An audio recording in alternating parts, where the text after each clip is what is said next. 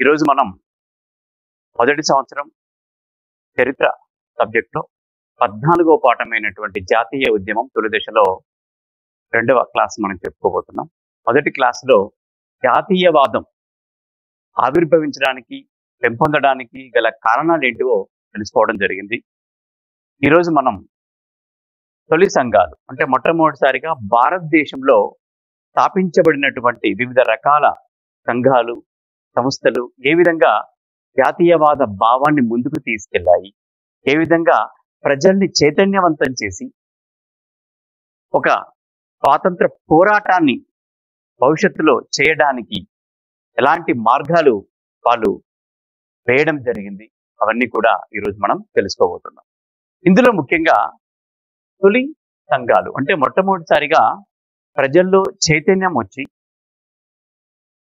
ఒక సంఘాలుగా సంస్థలుగా ఏర్పడి వివిధ రకాలైనటువంటి మాధ్యమాల ద్వారా ప్రజల్ని చైతన్యవంతం చేస్తూ అటు బ్రిటిష్ వారి యొక్క పరిపాలనలో ఉన్నటువంటి లోటుపాట్లను ఎత్తి చూపుతూ గౌరవంగా వారి ముందుకు తీసుకెళ్తూ ఆ యొక్క సమస్యలు పరిష్కరించడానికి వారి ముందుకి రకరకాలైనటువంటి ఏ సమస్యలు ఏవైతే ఉన్నాయో ప్రజలు ఎదుర్కొంటున్నటువంటి కష్టాలు ఏవైతే ఉన్నాయో వాటిని తీసుకెళ్ళడానికి వివిధ రకాలైనటువంటి సంఘాలు సంఘాలు సంస్థలు ఏర్పాటు చేయడం స్థాపించడం అనేది జరిగింది. ఇందులో భాగంగా మనం కొన్నిటి గురించి మనం తెలుసుకుందాం. ముఖ్యంగా ఈ యొక్క తొలి సంఘాలకు ఒక ఆద్యుడిగా మొట్టమొదటిసారిగా రాజ్ నారాయణ్ బోస్ అనే అతను మనం చెప్పుకోవచ్చు. పద్దెనిమిది వందల అరవై ఆరులో. ఇతను ఇతని మిత్రులు ఏర్పాటు చేసినటువంటి సంఘం మొట్టమొదటి సంఘంగా మనం చెప్పుకోవచ్చు మన భారతదేశం. ఆ తర్వాత నాభగోపాల్ మిత్ర పద్దెనిమిది వందల అరవై ఏడులో హిందూ మేళా అనే దాన్ని స్థాపించడం జరిగింది. అంటే ఈ రకాల సంస్థలు స్థాపించడం యొక్క ముఖ్య ఉద్దేశం ఏంటంటే ప్రజల్లో చైతన్యం తీసుకురావడము. అంటే ఒక ప్లాట్ఫామ్ అనేది అవసరం. ప్రజలు ఒక దగ్గర గుమికూడడానికి వారి యొక్క సమస్యలను బాధలను కష్టాలను చెప్పుకోవడానికి బ్రిటిష్ వారికి తమ యొక్క కష్టాలు సమస్యలు తెలియ చెప్పడానికి ఒక ప్లాట్ఫామ్ అనేది అవసరం. అందుకే విధమైనటువంటి సంఘాలు స్థాపించడం అనేది జరిగింది. ముఖ్యంగా పద్దెనిమిది వందల యాభై ఏడు సిపాయిల తిరుగుబాటు ఏదైతే ఉందో ఆ సిపాయిల తిరుగుబాటు తెచ్చినటువంటి ఒక విప్లవాత్మకమైనటువంటి మార్పు ఏంటంటే బ్రిటిష్ వాళ్ళతో మనం పోరాడగలం ఎదిరించగలం. వారి యొక్క అధునాతనమైనటువంటి ఆయుధ సామాగ్రి కావచ్చు యుద్ధ నైపుణ్యమే కావచ్చు సైనిక వ్యవస్థే కావచ్చు వాటిని కూడా ఛేదించగలిగేటటువంటి శక్తి భారతీయులకు ఉంది అని నిరూపించినటువంటి ఒక గొప్ప విప్లవమే పద్దెనిమిది వందల యాభై ఏడు సిపాయిల తిరుగుబాటు. ఆ తరువాత ఆ సిపాయిల తిరుగుబాటు ఇచ్చినటువంటి ఒక ఉత్సాహం ఏదైతే ఉందో ఆ ఉత్సాహాన్ని కంటిన్యూ చేస్తూ అనేక రకాలైనటువంటి సంస్థలు ఏర్పాటు కావడం జరిగింది. అందుకే ఈ విప్లవాలన్నిటికీ ఈ సంఘాలన్నిటికీ కూడా ముఖ్యమైనటువంటి కీలకమైనటువంటి అంశం ఏంటంటే అవి రూపుదిద్దుకోవడానికి పద్దెనిమిది వందల యాభై ఏడు సిపాయిల తిరుగుబాటుగా మనం చెప్తాం పద్దెనిమిది వందల యాభై ఏడు సిపాయిల తిరుగుబాటు తరువాతనే బ్రిటిష్ వాళ్ళ యొక్క వైఖరి కూడా మారిపోయింది. అలాగే భారతీయులు కూడా బ్రిటిష్ వారిని ఎదిరించగలము. వారితో మనం పోరాటం చేయగలము ఫైట్ చేయగలము అనేటటువంటి ఒక నైతికమైనటువంటి బలాన్ని మనకిచ్చినటువంటి గొప్ప పోరాటమే. తిరుగుబాటు దానినే మనం ప్రథమ స్వాతంత్రం అందుకే ఆ తరువాతనే అనేక రకాలైనటువంటి సంస్థలు మన భారతదేశం అంతటా ఏర్పాటు చేయడం అనేది జరిగింది. లండన్ ఇండియన్ సొసైటీ పద్దెనిమిది అరవై ఐదులో లండన్లో ఉన్నటువంటి ఇంగ్లాండ్లో ఉన్నటువంటి భారతీయ విద్యావంతులు ఈ యొక్క లండన్ ఇండియన్ సొసైటీని స్థాపించి భారతీయులు ఎదుర్కొన్నటువంటి సమస్యలను వారి బాధలను అక్కడ ఉన్నటువంటి పరిపాలకుల ముందుకు తీసుకెళ్ళడానికి ఏర్పడినటువంటి ఒక సమాజమే లండన్ ఇండియన్ సొసైటీ. అలాగే భారతదేశంలో కూడా అదే సంవత్సరంలో దాదాబాయి నవరోజీ పద్దెనిమిది వందల అరవై ఆరులో ఈస్ట్ ఇండియన్ అసోసియేషన్ అనే దాన్ని తెలుసు. భారతదేశంలో ఒక రాజకీయ కురువృద్ధుడిగా చెప్పుకో చెప్పుకోవచ్చు. Grand old man of India. అలాంటి దాదాబాయి నవరోజీ కూడా అరవై ఆరులో ఈస్ట్ ఇండియన్ అసోసియేషన్ అనేది స్థాపించి ఈ యొక్క ఒక వేదికను విద్యావంతుల వేదిక అనే దాన్ని ఏర్పాటు చేయడం. అలాగే మేరీ కార్పెంటర్ అరవై ఏడులో నేషనల్ ఇండియన్ అసోసియేషన్ అలాగే ఆనంద్ మోహన్ బోస్ ఎవరైతే బ్రహ్మ సమాజ స్థాపకుడైనటువంటి రాజా బ్రహ్మ సమాజ స్థాపకుడైనటువంటి రాజా రామ్మోహన్ రాయ్ జీవిత చరిత్రను లిఖించినటువంటి ఆనంద మోహన్ బోస్ అతడు పద్దెనిమిది వందల డెబ్బై రెండులో ఇండియన్ సొసైటీని స్థాపించడం జరిగింది. అలాగే సురేంద్రనాథ్ బెనర్జీ పద్దెనిమిది వందల డెబ్బై ఆరులో ఇండియన్ అసోసియేషన్ అనే దాన్ని స్థాపించడం జరిగింది అధ్యక్షత వహించడం జరిగింది. అంటే ఇవన్నీ కూడా భారతదేశంలో మొట్టమొదటిసారిగా తొలిసారిగా ఏర్పడినటువంటి సంఘాలు. ఈ సంఘాలన్నీ కూడా మనకు పద్దెనిమిది వందల యాభై ఏడు సిపాయిల తిరుగుబాటు తరువాత ఏర్పడినటువంటివి. అంటే ప్రజలకు ఒక వేదిక అవసరము. బ్రిటిష్ వారిని ఎదుర్కోవడానికి వారి ముందుకు తీసుకెళ్ళడానికి లేదా ప్రజల్ని చైతన్యవంతం చేయడానికి రాజకీయంగా సామాజికంగా ఒక వేదిక అవసరము. వారిని ఎదుర్కొనేటటువంటి శక్తి మనకు రావాలి. కలగాలి అంటే ప్రజల యొక్క సపోర్ట్ అనేది మద్దతు అనేది అవసరం. కాబట్టి ప్రజలను తమ దృష్టి వైపు మరలించడానికి వారిని కూడా కలిసి వచ్చేటట్టుగా ప్రయత్నం చేయడానికి లేదా చైతన్యవంతం చేసి రేపు రా రాబోయేటటువంటి రోజుల్లో ఒక అద్భుతమైనటువంటి పోరాటం చేయడానికి ఈ సంఘాలు ఎంతగానో దోహదపడ్డాయని మనం చెప్పుకోవచ్చు. ఈ సంఘాల ఫలితంగానే ఆ తరువాత భారత జాతీయ కాంగ్రెస్ అనేది కూడా పద్దెనిమిది వందల ఎనభై ఐదులో పురుడు పోసుకున్నది. భారత జాతీయ కాంగ్రెస్ గురించి చర్చించుకుంటాం సో ఇంతవరకు తొలి సంఘాలు భారతదేశంలో మొట్టమొదటిసారిగా కొన్ని సంఘాలు సంస్థలు ఏర్పడ్డాయి. ఏ విధంగా అవి ఏర్పడ్డాయి ఎవరు స్థాపించారో మనం తెలుసుకున్నాం ఆ తర్వాత మరొక ముఖ్యమైనటువంటి సంస్థ ఏంటంటే భారత జాతీయ కాంగ్రెస్. ప్రజెంట్ మనం ఏదైతే ఇండియన్ నేషనల్ కాంగ్రెస్ అంటున్నామో ఐఎన్సి ఆ యొక్క ఐఎన్సీనే మనం భారత జాతీయ కాంగ్రెస్ అంటాం. ప్రజెంట్ నడుస్తున్నటువంటి కాంగ్రెస్ పార్టీ యొక్క ఏదైతే ఉందో కాంగ్రెస్ పార్టీ అదే భారత జాతీయ కాంగ్రెస్. సో ఒక పొలిటికల్ పార్టీగా ఇప్పుడు కూడా మన భారతదేశంలో ఎగ్జిస్ట్ అయి ఉన్నటువంటి పార్టీ కాంగ్రెస్ పార్టీ.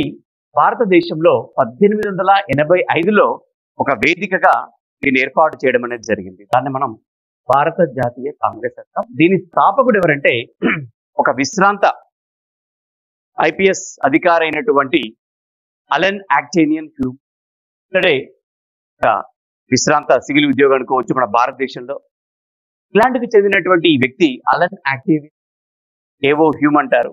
ఇతడు పద్దెనిమిది వందల ఎనభై ఐదులో భారత జాతీయ కాంగ్రెస్ అనే ఒక వేదికను ఏర్పాటు చేయడం అనేది జరిగింది. మరి దీని యొక్క ముఖ్య ఉద్దేశం ఏంటంటే భారతీయులు ఒక అభద్రతా భావం అనేది ఉంది బ్రిటిష్ వారి యొక్క పరిపాలనలో. ఈ యొక్క అభద్రతా భావం అనేది ముందు ముందు పెరగకుండా దీన్ని ఎక్కడికక్కడ కంట్రోల్ చేసుకుంటూ నియంత్రించడానికి బ్రిటిష్ వాళ్ళ తరపు నుండి ఏర్పడినటువంటి ఒక సంస్థగా మనం భారత జాతీయ కాంగ్రెస్ అంటే. అంటే వాళ్ళు కూడా భారత బ్రిటిష్ వాళ్ళు కూడా పూర్తిగా ఒక సంస్థ అనేది ఏర్పాటు చేయాలి. ఎందుకు ఎందుకంటే ఇక్కడ భారతీయులు ఏర్పాటు చేసిన సంస్థ అయితే పూర్తిగా వ్యతిరేకత ఏర్పడుతుంది.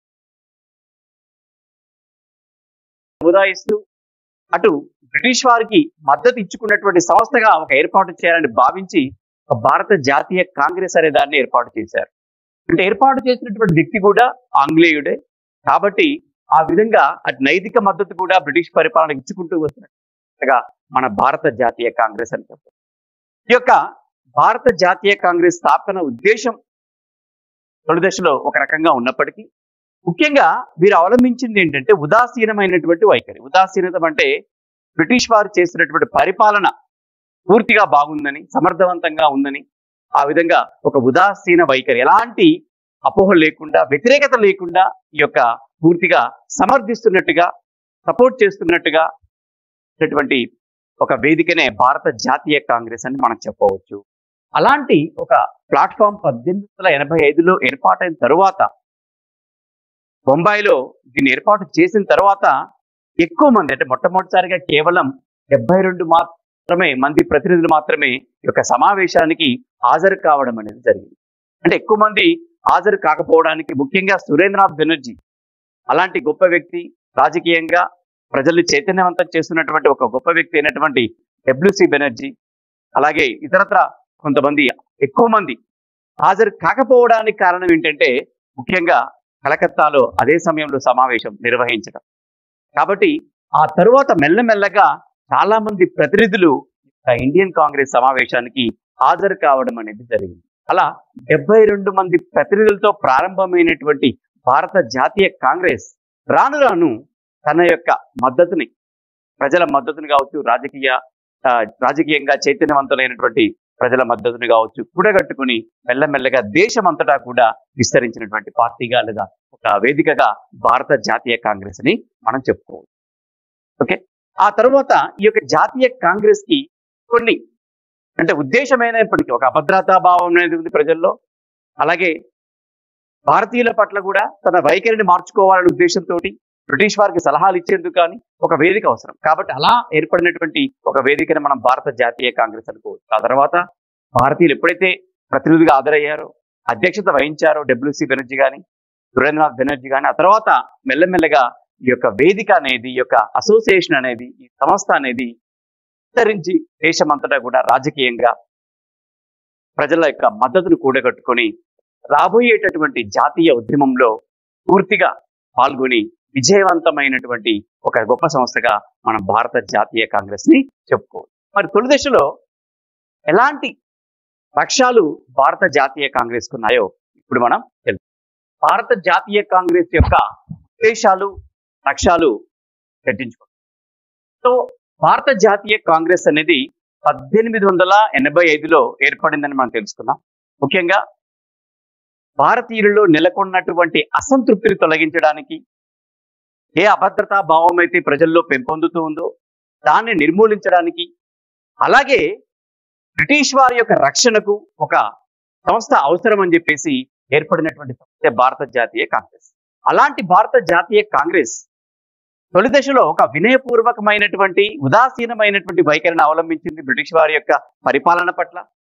ఆ తరువాత దాని యొక్క లక్ష్యాలు ఉద్దేశాలు కూడా కొన్ని ఉన్నాయి. రాను రాను అంటే ఈ యొక్క భారత జాతీయ కాంగ్రెస్ విస్తరిస్తున్న కొద్దీ లక్ష్యాలు ఉద్దేశాలు కూడా మారిపోయాయని చెప్పు. తొలి దశలో చూసుకున్నట్టయితే ఈ యొక్క భారత జాతీయ కాంగ్రెస్ యొక్క ఉద్దేశాలు చాలా సింపుల్గా ఉన్నాయి. ఏంటంటే ప్రజల సహకారం పెంపొందించుకోవడం. అంటే భారతీయుల సహకారం అనేది ఒక సంస్థకు అవసరం. అంటే భారత జాతీయ కాంగ్రెస్ అనేది ఒక విదేశీయుడితో స్థాపించబడినప్పటికీ రాను రాను భారతీయుల యొక్క మెంబర్షిప్ అనేది ప్రాతినిధ్యం అనేది పెరిగిన కొద్దీ ఈ యొక్క ప్రజల సహకారం తీసుకోవాలి. అంటే భారతీయులందరూ కూడా ఇందులో హాజరు కావాలి ప్రతినిధిగా ఉండాలి. ఈ యొక్క జాతీయ కాంగ్రెస్ చెబుతున్నటువంటి అంశాలు కావచ్చు ఏవైతే తను ఆ, విస్తరిస్తుందో ఆ ఉద్దేశాలు ఏవైతే ఉన్నాయో అవన్నీ కూడా ప్రజలు పాటించేలాగా అందరినీ మమైకం చేసేలాగా ఆకారాన్ని తీసుకోవాలని జాతీయ కాంగ్రెస్ ఆలోచించింది. అంటే ప్రజల సహకారం లేనిది ఏ సంస్థ అయినా ఏ యొక్క అసోసియేషన్ అయినా దాని మనుగడ అనేది ప్రశ్నార్థకంగా ఉంటుంది. కాబట్టి ప్రజల సహకారం అనేది ఇక్కడ అవసరము. కాబట్టి భారతీయుల సహకారాన్ని పూర్తిగా తీసుకునేటట్టుగా ఈ సంస్థ లక్ష్యంగా ఉండేది తొలిసారి. రెండవది ఏంటంటే జాతి వివక్ష నిర్మూలించాలి. ఈ యొక్క పాయింట్ ఎందుకు యాడ్ చేయడం జరిగింది? జాతి వివక్షత అంటే ఏంటి? అంటే భారతీయులంతా ఒక జాతి అనుకున్నట్టయితే విదేశీయుడు ఎప్పుడైతే భారతదేశంలోకి ప్రవేశించారో వారు ఎప్పుడు కూడా వివక్షత చూపారు. మీరు తెల్లవారని చెప్పేసి. లేదా ఆ, అన ఒక రకమైనటువంటి నాలెడ్జ్ లేనట్టుగా మనకు విద్యావంతులు కానివారుగా నాగరికత తెలియదని చెప్పేసి ఇలా రకరకాలుగా ప్రజలని చూడడం అనేది జరిగింది. బ్రిటిష్ వారి యొక్క వైఖరి భారతీయుల పట్ల ఎలా ఉండింది అంటే మేము తెల్లవారమని నాగరికులమని విద్యావంతులమని జ్ఞానవంతులమని మేమే పరిపాలకులమని అనే భావన ఉన్నది. ఓకే? అలాంటి ఉద్దేశంతో వాళ్ళు భారతదేశంలో ప్రవేశించి పరిపాలకులు అయిన తర్వాత ఎప్పుడైతే మనం పోరాటాలు చేస్తున్నామో సిపాయిల తిరుగుబా లాంటి గొప్ప విప్లవాలు మనం తీసుకొచ్చామో దాంతో వాళ్ళ వైఖరి అనేది మారిపోయింది. అంటే ప్రజలు పోరాడే శక్తి ఉన్నటువంటి వాళ్ళు వీళ్ళ సంస్కృతి నాగరికత చాలా ముందుంది అని చెప్పేసి చాలా వైభవమైనటువంటి వీళ్ళ నాగరికత సంస్కృతి వీళ్ళకు ఉంది అని బ్రిటిష్ వాళ్ళు గ్రహించారు. కాబట్టి జాతి వివక్షతను నిర్మూలించాలి. అంటే ఇల్బర్ట్ బిల్లు లాంటిది. ఏ ఇల్బర్ట్ బిల్లు అయితే జాతి వివక్షతను చూపిందో ముఖ్యంగా బ్రిటిష్ వారు ఇల్బర్ట్ బిల్లుకు వ్యతిరేకంగా అందరూ కలిసిపోయి భారతీయులకు వ్యతిరేకంగా ఈ యొక్క ఇల్బర్ట్ బిల్లును నిషేధించాలని వాళ్ళు తీర్మానించడం జరిగింది. అంటే భారతీయ మెజిస్ట్రేట్లకు విద్యావంతులైనటువంటి మెజిస్ట్రేట్లకు కూడా యూరోపియన్ ఖైదీలను విచారించేటటువంటి ఒక అధికారం కూడా లేకుండా ఇల్బర్ట్ బిల్లుని రద్దు చేయడం అనేది జరిగింది. అంటే ఒక ఇల్బర్ట్ బిల్ అనేది జాతి వివక్షతకు ప్రశ్నించేటటువంటి బిల్ అది. అలాంటి బిల్లును నిర్మూలించడం జరిగింది. కాబట్టి జాతి వివక్షత నిర్మూలించాలంటే మానవ జాతి అంతా మానవ జాతి అందరూ మనుషులే ఇక్కడ అని చెప్పి ఒక వివక్షత అనేది నిర్మూలించి అందరూ సమానమనే భావనని రావాలనే ఉద్దేశంతో జాతి వివక్షతను ఉద్దేశం. జాతీయ కాంగ్రెస్ పనిచేసింది. అంటే ప్రజల సహకారం అవసరం. ప్రజల సహకారంతో ఇక్కడ ఏం చేస్తాం? జాతి వివక్షతను నిర్మూలిస్తాం. తెల్ల జాతి నల్ల జాతి గొప్ప జాతి తక్కువ జాతి అనేది లేదు. కాబట్టి అలాంటి తేడాలు భేదాలు ఉంటే ఏమవుతుంది? ఏ రంగమైనా ఏ అసోసియేషన్ అయినా సరే హిట్ అవుతుంది విడిపోతుంది నాశనం అవుతుంది నిర్మూలించబడుతుంది. కాబట్టి జాతి వివక్షత అనేది ఉండకూడదు. ఓకే? అలా నిర్మూలించే ఉద్దేశంతో కూడా జాతీయ కాంగ్రెస్ లక్ష్యంగా ఉంది అలాగే పక్షపాతం. ఇందాక మనం చెప్పు నిలబట్టి బిల్లు కానీ ఇలాంటి అలాగే పత్రికా స్వాతంత్ర చట్టం కానీ కొన్ని చట్టాలు కొన్ని బిల్లుల యొక్క ఉద్దేశం ఏంటంటే ఏవి కూడా బ్రిటిష్ వారి యొక్క పక్షపాతాన్ని ఆపలేకపోయాయి అవకాశం వచ్చిన ప్రతిసారి కూడా వాళ్ళు పక్షపాతాన్ని చూపారు. బ్రిటిష్ పత్రికలకు ఒక రకమైనటువంటి మార్గదర్శకాలు భారతీయ పత్రికలు ఒక రకమైనటువంటి మార్గదర్శకాలు. అలాగే ప్రమోషన్ల విషయంలోనూ భాషల విషయంలోనూ ప్రతి విషయంలో కూడా బ్రిటిష్ వారు పక్షపాతాన్ని చూపారు కాబట్టి ఎక్కడ కూడా పక్షపాతాన్ని చూపించకూడదు ఆ పక్షపాతాలను కూడా నిర్మూలించాలి. అంటే నిర్మూలించే ఉద్దేశంతో ఇక్కడ పనిచేయడం అనేది. పక్షపాతాన్ని నిర్మూలించాలి. ఎక్కడ కూడా జాతి వివక్షత అనేది ఉండకూడదు. పక్షపాతం అనేది ఉండకూడదు. తర్వాత ఏంటిది? ఏకీకరణ సాధించుట. ఏకీకరణ అంటే భారతీయమైనటువంటి యొక్క సంస్కృతి ఏదైతే ఉందో ఈ ప్రగతి ఏదైతే ఉందో దాన్ని ఏకీకరణ అంటే ఐక్యతకు నిదర్శనం. అంటే మనమంతా ఒకటి భారతీయులంతా ఒకటనే ఉద్దేశంతో ఐక్యత సాధించాలి. అంటే జాతీయ కాంగ్రెస్లో ఉన్నటువంటి వారే కాకుండా దేశంలో ఉన్నటువంటి ప్రజలందరూ కూడా ఒకటే అనే ఉద్దేశంతో ఐక్యతను సాధించే ఉద్దేశంతో కూడా ఈ యొక్క జాతీయ కాంగ్రెస్ అంటే ఉద్దేశాలు చాలా సింపుల్గా మనం చెప్పుకోవచ్చు. సహకారం తీసుకోవాలి వివక్షత నిర్మూలించాలి పక్షపాతాన్ని నిర్మూలించాలి ఏకీకరణ సాధించాలి. అంటే ఒక యూనిటీ అనేది సాధించాలి ప్రజల్లో. ముఖ్యంగా దేశంలోని రకరకాలైనటువంటి సమస్యలను గుర్తించాలి వాటి గురించి చర్చించాలి. అంటే జాతీయ కాంగ్రెస్ అనేది ఒక వేదిక ఒక చర్చా వేదికగా అనుకున్నప్పుడు ప్రజల యొక్క సమస్యలను మనం గుర్తించాలి మొదటిసారిగా.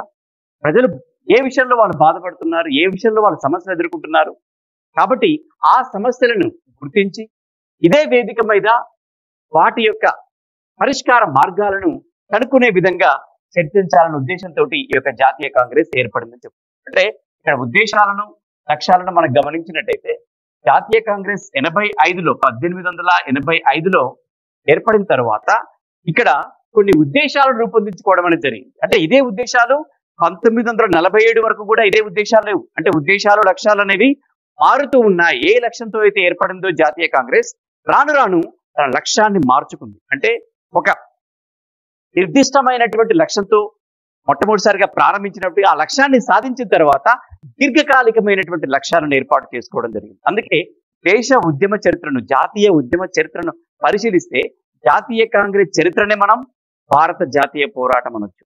అంటే భారత జాతీయ స్వాతంత్రోద్యమాన్నే మనం భారత జాతీయ కాంగ్రెస్ చరిత్ర అనొచ్చు. అంటే జాతీయ కాంగ్రెస్ చరిత్రనే మన దేశ స్వాతంత్రోద్యమంగా వర్ణించవచ్చు. కారణం ఏంటంటే ఎనభై ఐదులో ఏర్పడిన తర్వాత పద్దెనిమిది వందల ఎనభై ఐదు నుంచి పంతొమ్మిది వందల నలభై ఏడు భారతదేశానికి స్వాతంత్రం వచ్చేంత వరకు కూడా మనం చేసినటువంటి ఏ పోరాటమైనా సరే జాతీయ కాంగ్రెస్ యొక్క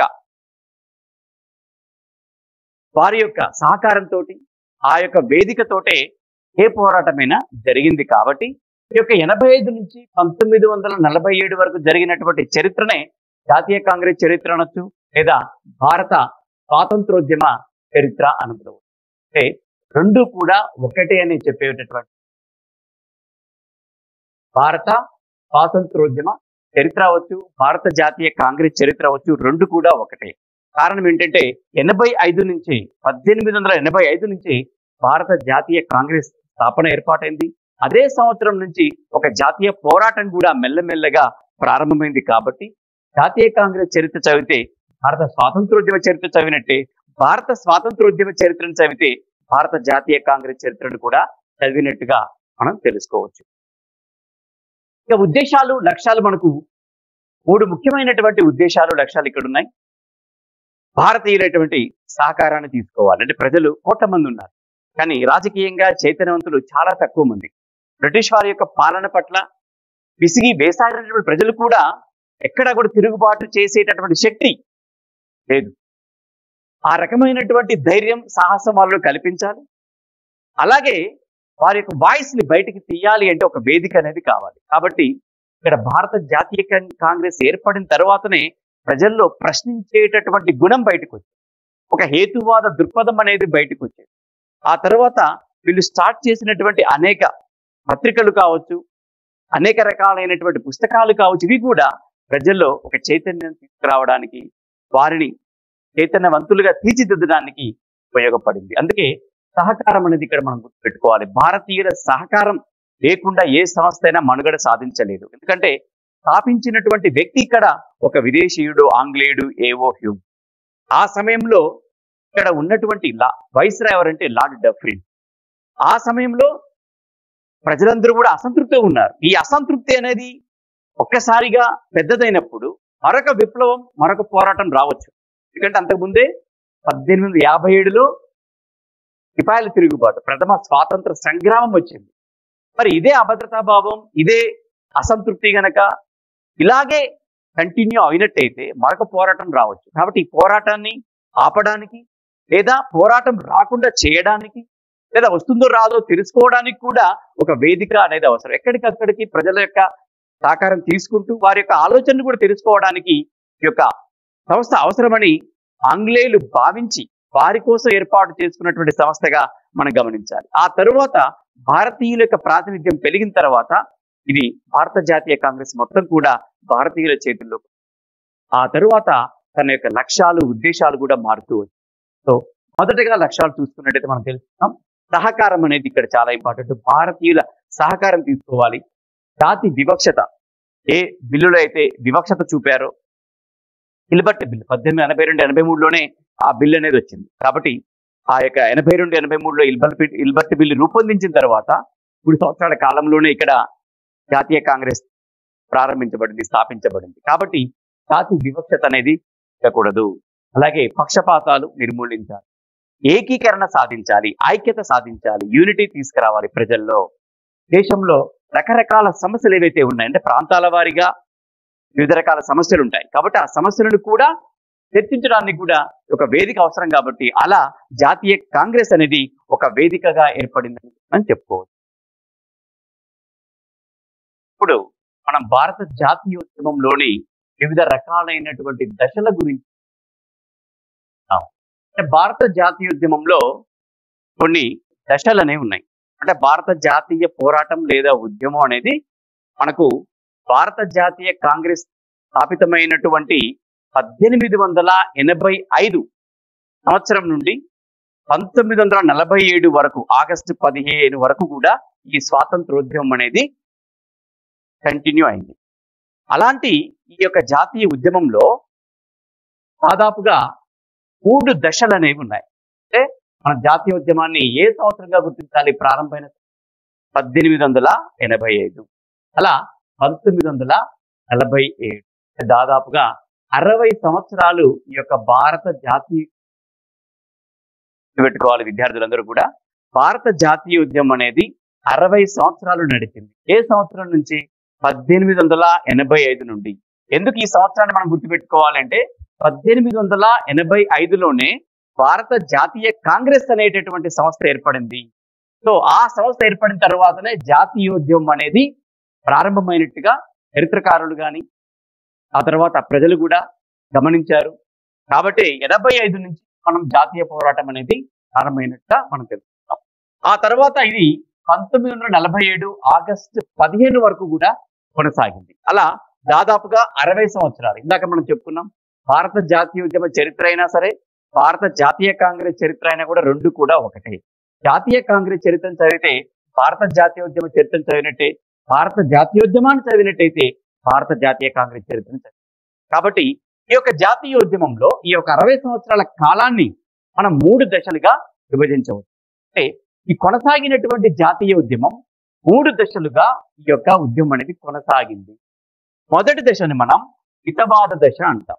ఈ మితవాద దశ అనేది పద్దెనిమిది వందల ఎనభై ఐదు నుండి పంతొమ్మిది వందల ఐదు వరకు కొనసాగింది. అక్కడ మనం చెప్పుకున్నాం పద్దెనిమిది వందల ఎనభై ఐదు అనేది భారత జాతీయ కాంగ్రెస్ స్థాపించబడినటువంటి సంవత్సరం కాబట్టి పద్దెనిమిది వందల ఎనభై ఐదు నుండి పంతొమ్మిది వందల ఐదు వరకు జాతీయ కాంగ్రెస్లో మితవాద దశ. అంటే భారత జాతీయ కాంగ్రెస్లో మితవాదులు ఎక్కువగా మొట్టమొదటిసారిగా ఉన్నారు. వాళ్ళు ప్రాతినిధ్యం వహించారు. వాళ్ళే అనేక రకాల ఉద్యమాలను కూడా నడిపారు. కాబట్టి జాతీయ కాంగ్రెస్ అధ్యక్షత వహిస్తూ ప్రజల సహకారాన్ని తీసుకుంటూ వాళ్ళు చేసినటువంటి పోరాటం ఆంగ్లేయులకు వ్యతిరేకంగా లేదా బ్రిటిష్ పరిపాలన వ్యతిరేకంగా చేసినటువంటి పోరాటం స్వాతంత్రోద్యమానికి ఏ విధంగా వారు దగ్గరయ్యారు అనేది తెలుసుకోవడాన్ని మనం మితవాద దశగా మనం అంటే పద్దెనిమిది వందల ఎనభై ఐదు నుండి పంతొమ్మిది వందల ఐదు వరకు ఈ దశ ఇరవై సంవత్సరాల పాటు కొనసాగింది. తరువాతది అతివాద దశ. ఈ దశ ఎక్కడైతే?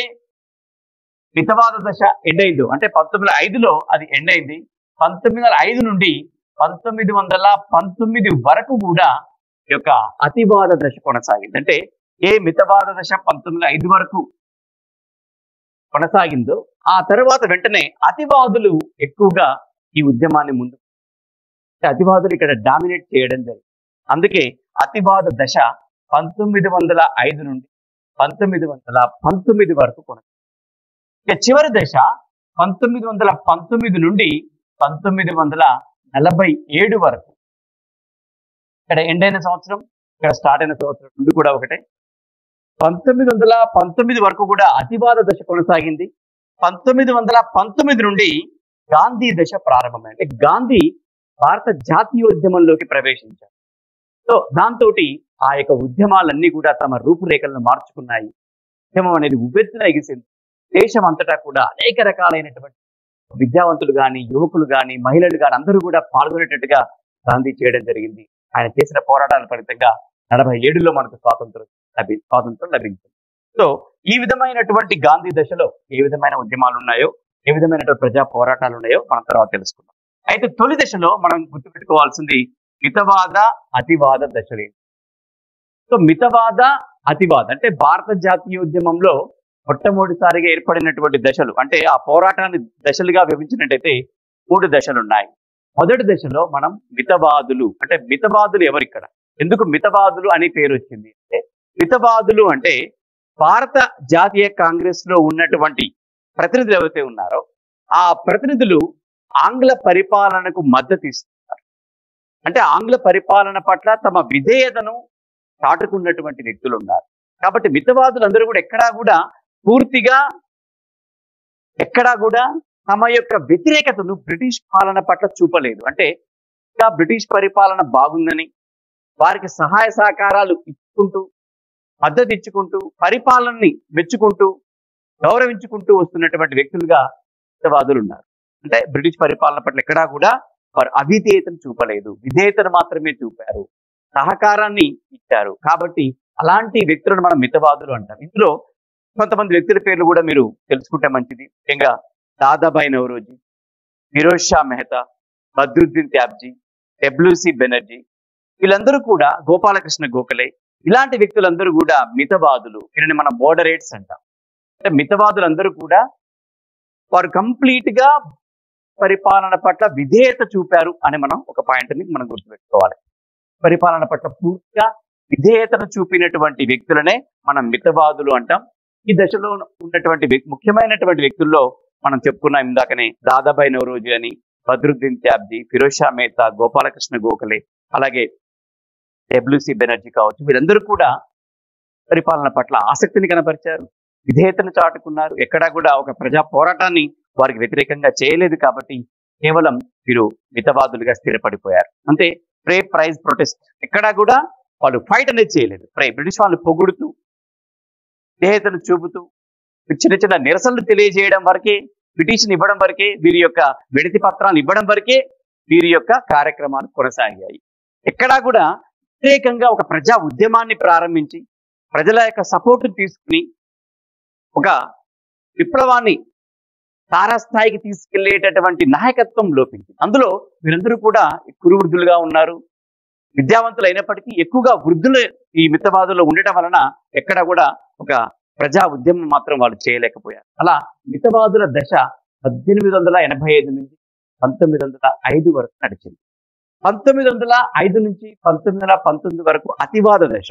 ఈ దశలో మనం చెప్పుకుంటా? ఎక్కడైతే మితవాదులు ఎలాంటి ఫలితాన్ని సాధించలేకపోయారో బ్రిటిష్ వారికి మద్దతునిస్తున్నారో వారిని గౌరవిస్తున్నారో వారి పాలన పట్ల విధేయతను చూపుతున్నారో.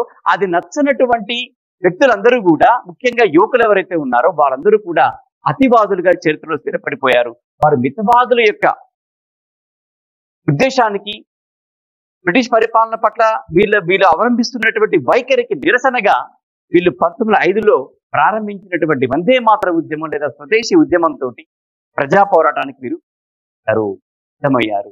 కాబట్టి ఆ దశ పంతొమ్మిది వందల ఐదు నుండి పంతొమ్మిది వందల పంతొమ్మిది అతివాద దశ కొనసాగింది. ఆ తరువాత దశ ఏంటి? గాంధీ దశ. అంటే ఈ రెండు దశల్ని గమనించినట్టయితే మోడరేట్స్ ఎక్స్ట్రీమిస్ట్ అంటారు మితవాదులు అతివాదులు ఎక్కడా కూడా పూర్తిగా స్వాతంత్రాన్ని సాధించలేకపోయారు. ఉద్యమాలు చేశారు. వాళ్ళు ఉద్యమాలు చేయలేదు.